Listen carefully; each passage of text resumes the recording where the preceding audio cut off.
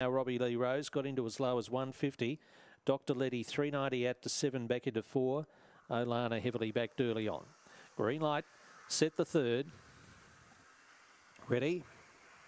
Racing now, uh, missing it a shade off the inside. Gilbert Rose Olana second last out. Favourite centre field Robbie Lee Rose, but on the move and here Hugo took the lead early. Oh, Robbie Lee Rose couldn't get around. Uh, Copter Pratt there and another one as well. It's out of the field. Uh, Dr. Letty back with it in the second half. Means uh, while it's here Hugo in front. Off its back. Minter Honor comes strong. They've raced clear of Dr. Minty in the straight. Minter Honor goes up, takes the lead, and Minter Honor's won the prize from here. Hugo second. About four away third. Dr. Minty Gilbert Rose.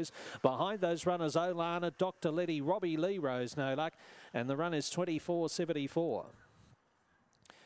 Value plus again here. Number two, Minter Honor for Rob Reinke at about $9.60. He was around the fourth pick in betting and takes out the third of the night. All winners at uh, good value so far tonight. And two is first, 24.73 the run, 5.26 early, 13.70, 24.73. And at its first race start since the 8th of March, Minter Honor is too good. It's now won two from four. And uh, was a nice maiden winner here back on the 29th of Feb.